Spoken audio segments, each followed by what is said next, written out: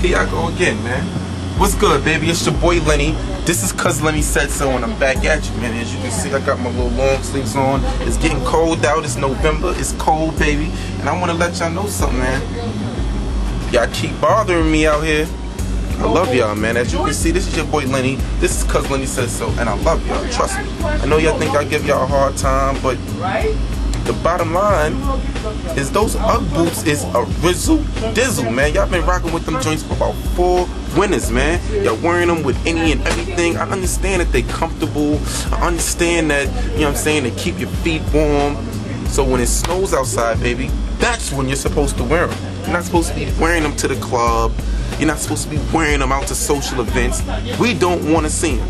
We in your little suspect outfit, that's when you're supposed to wear them. I don't want to see him with a good outfit, a good pair of jeans and all that. When you sweatsuited and Levi'd out and all that, that's when you wear the Ugg boot. And I've been seeing y'all, man. They've been doing all types of little fancy things and tricks to the Ugg boot. Can you believe it? Now they got high ones, three quarter ones, little ones, and I seen a slip-on Ugg boot, man. I saw a slip-on Ugg boot. I was out in the mall out there in Jersey, and I seen a slip-on Ugg boot, and I'm sick of it, man. It hurt my heart, and I had to come and speak to you, speak to you about the Ugg boot, baby. We don't do it. In 07, 08, it's a wrap, man. If I see y'all with Ugg boots, I'm taking a black marker and I'm gonna rub it down the Ugg boot, man. We're not doing it no more, man. It's a wrap, man.